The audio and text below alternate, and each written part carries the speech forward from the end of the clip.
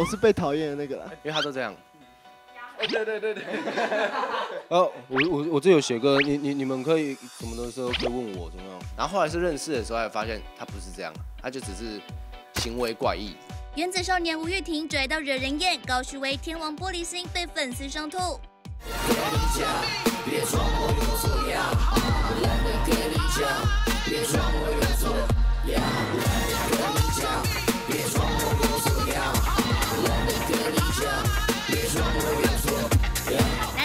节目《原子少年》日前已录制完总决赛，千人粉丝演唱见面会要加五千八百八十八元的 V V I P 门票，一分钟内抢光光。外传那黄牛票含价都三万元，临时加开的线上直播门票也卖出了三千张哦。其中人气爆棚的天王星，就算公演前五天临时被换歌，表演还是超炸的。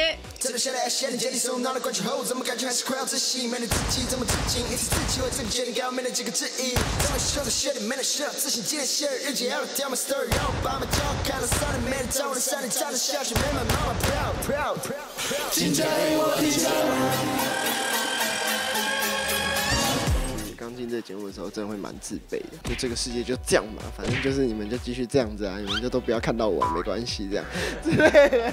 我觉得那有时候是一种对舞台的渴望吧，就是你就会很想。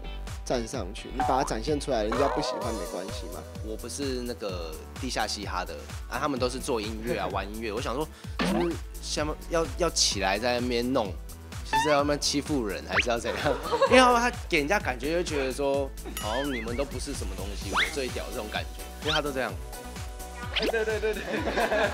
哦，我我我这有写歌，你你你们可以什么的时候可以问我怎么样？你就会觉得说，这个人到底来干嘛？我觉得那个是一个防护心态。他们可以讨厌我，他们会注意到我，但我不会是一个被消失的角色。但我也不是真的这样想，但是就是那个潜意识是这样子做的，对。所以，对啊。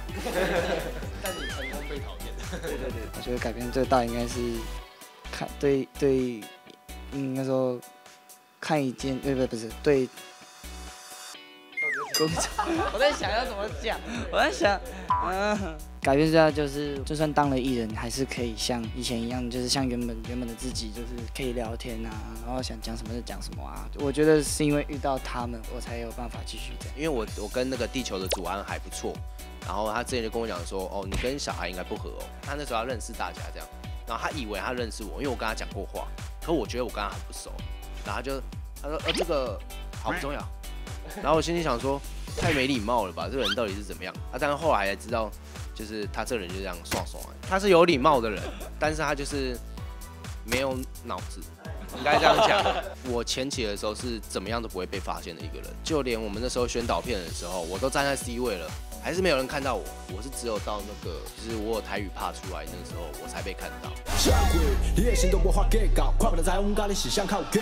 我被粉丝们伤过蛮多次，有一次那时候我们好像直播吧，直播结束就有粉丝在外面等，然后那时候就有一个人就是等，我们拍完小孩吧，然后转过来不知道要找谁，他这样对着我转掉，我那时候想说。